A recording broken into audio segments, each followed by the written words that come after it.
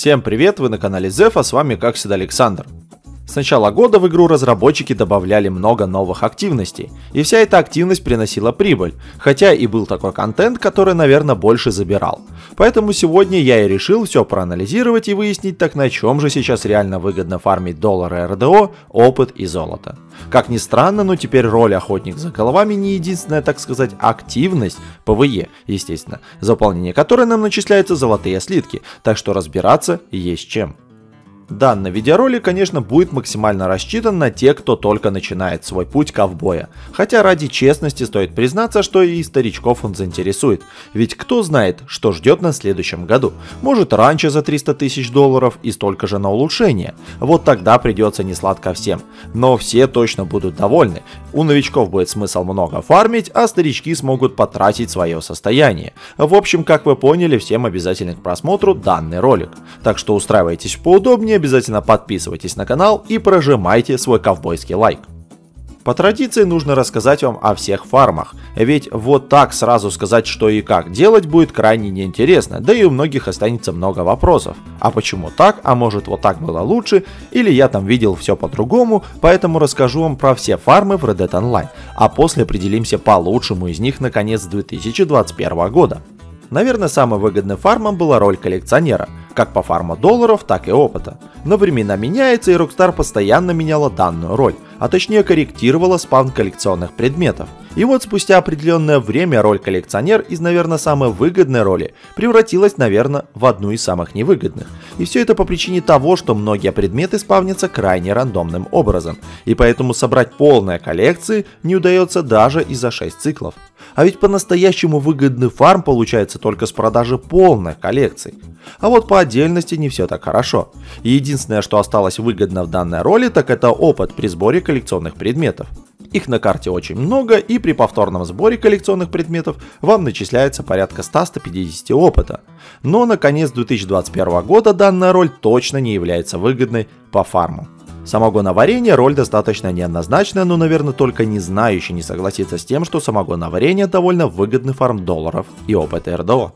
Так как при небольших усилиях мы получаем за 1 час реального времени примерно 210 долларов, а вот если чистыми, то примерно 200 баксов, что довольно неплохо. И это при том, что от нас требуется только затратить время для скидки на брагу и после отвести готовый самогон. Все остальное происходит в автоматическом режиме, не требует нашего вмешательства. Как, к примеру, роль торговец. Там и материалы нужно постоянно возить, и припасы. Но об этом чуть позже. Если с коллекционером было все понятно, полная коллекция собирать трудно, то что же с самогонщиком? Тут все в основном будет стоять перед выбором купить брагу со скидкой или нет. Без скидки 50 долларов, что невыгодно на первый взгляд, ведь примерно за час игры, продавая самогон за 3 звезды чистыми, вы получаете примерно 200 баксов. А вот если делать скидку на самогон, выполняя задание, то придется время увеличить. Примерно за 4 часа игры вы отвезете только 3 повозки самогоном, а значит прибыль в час опускается до 180 долларов. Так что, друзья мои, выгоднее покупать Брага по full прайсу и готовить самогон именно на 3 звезды. В конечном итоге выручка в час выше, но все равно не так круто. Торговец роль похожа на самогонщика, но имеет отличие. За одну повозку мы получаем целых 625 долларов. Если брать в расчет командную работу, то, конечно, торговец профитнее, ведь при продаже повозки с товаром ваши оппоненты получают ровно половину выручки. А вот самогоном не все так радостно для ваших коллег. Но вот интересно, что одна единица товара готовится 2 минуты. То есть, чтобы приготовилось 100 единиц товара, нужно 200 минут, а это чуть больше 3 часов. Но сюда также нужно включить 4 поставки припасов, поэтому на полноценную повозку уходит примерно 4 часа. А вот дальше посчитать несложно. И получаем, что в час производительность крипса всего 189 баксов, что меньше, чем у самогонщика. А вот те раз. Думаю, сейчас вы немного удивлены, но повторюсь, что роль торговца куда профитнее именно для команды. Пока что по фарму побеждает, конечно же, самогонщик. Далее охотник за головами, и тут все очень сложно, так как выплаты за преступников по долларам и опыту рандомны. А вот золото в РДО просчитывается для любой активности одинаково, за исключением режима к оружию. По охотнику за головами скажу одно. Роль интересная и разнообразная, но после недели игры чисто по роли она вам надоест. Так как задания начнут повторяться, скорее всего роль охотник за головами больше подходит для души, и при этом особо не теряете в валюте. Поэтому данная роль точно не подходит под самую выгодную деятельность по фарму. Натуралист роль крайне странная, с одной стороны ее сразу обругали и выдали ей клеймо скучной интересной роли, с некоторыми суждениями я согласен, с другими не согласен. И все по причине того, что данная роль на самом деле очень интересная. Конечно, если вы очень быстрый игрок и не привыкли играть в удовольствие, хотя не понимаю, зачем еще играть в Ордо, если не для удовольствия, это же не киберспортивная игра. В общем, роль, как по мне, очень даже хороша. Да, тут нет сюжетной части, как по роли самогонщик, но на минуточку, только и в самогонщике есть сюжет. В остальных ролях обычная заставка и на этом все. Но вот роль натуралиста привнесла в игру много нового контента, и согласитесь, каждую неделю получать новую легендарку для выслеживания было круто. Хотя стоит упомянуть тот факт, что многие печалились именно из-за спавна в открытом мире этих самых животных. И их выследить было то еще задачей, а посему многие не желали в нее играть. Но где вы видели, что человек, играющий в РДО ради фарма, будет просто наслаждаться новым контентом, изучать всех животных, заполнять справочник? Конечно, таких мало. И тут честно пишем, кто заполнил весь справочник по животным. Кстати, справочник можно неплохо так продать. Тут частично прослеживается схожесть с коллекционером, но по факту данная роль отлично сочетается с ролью торговец, так как легендарное животное дает очень много материалов. А вот по теме нашего ролика, то для честности стоит сказать, что не совсем это и профитная роль по фарму. Хотя я давно уже хочу ее изучить и все посчитать. Так что если вам будет интересно посмотреть на все расчеты и выяснить, сколько точно приносит роль натуралист долларов и опыта, пишите об этом в комментариях. С ролями закончили, пока получается, что по среднему заработку в час выигрывает роль самогонщика, что очень интересно, ведь по факту мы свое личное время тратим на эту роль крайне мало, но стоит отметить, что только ради одной сюжетной линии стоит ее купить.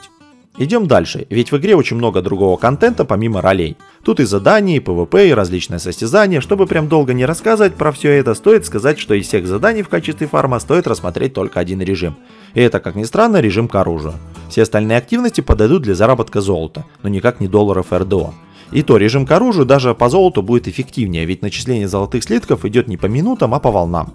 И при определенном прохождении можно крайне много заработать золотых слитков за короткий промежуток времени. Хотя и это мы с вами сейчас все посчитаем. В общем, как я уже сказал, все активности по типу заданий незнакомцев, задания серии «Кровавые деньги», события свободного режима, PvP состязания, все это для того, чтобы провести хорошо время и заработать золотых слитков, но не доллары.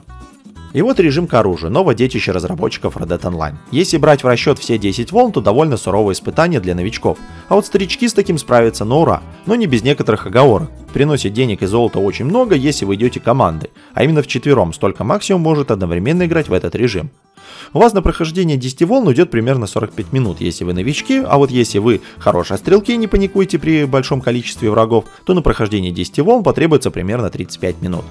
Учитывая, что ранее мы с вами просчитывали максимальный фарм, то время 35 минут и оставим. В общем, по итогу вы получите примерно 250 долларов, один золотой слиток и 2300 опыта.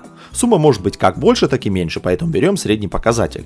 Учитывая, что мы равнялись на роль торговец, ведь на получение денег с нее нам требовалось больше всего часов, то с режима к оружию средний заработок в час будет 188 баксов если берем промежуток в 4 часа. И это третий показатель, ведь самогоноварение приносит 200 баксов при правильном подходе, торгует 189 баксов и режим к оружию 188. А учитывая, что патронов и тоников мы потратим прилично в этом режиме, то чистыми немного меньше получаем. Как всегда, у нас есть одно но, ведь такой заработок обусловлен тем, что у нас локдаун на запуск режима целых 45 минут.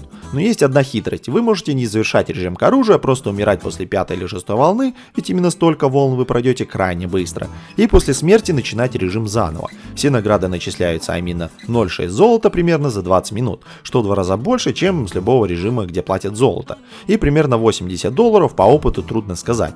Точно мы сможем определиться в следующем ролике, где подробно разберем данный метод. Как вы понимаете, по заработку долларов за один час без заморочек это относится к режиму к оружию. Там, я думаю, за час можно фармить куда больше самогонщика. Но именно самогонщик является самой выгодной ролью. То есть за один час с нее мы получаем около 200 долларов. А вот если совмещать с ролью торговец, то в час можно зарабатывать практически 400 баксов, что неплохо. По опыту тоже все хорошо. Хотя, как я и сказал, если есть прямая задача по максимуму фармить валюту в игре, то можно это сделать в режиме к оружию, но об этом мы поговорим чуть позже. Думаю, для многих итог был не очевиден, но что поделать, цифры говорят сами за себя. Всем спасибо за просмотр, обязательно подпишитесь на канал и поставьте свой ковбойский лайк данному ролику. Всем до встречи!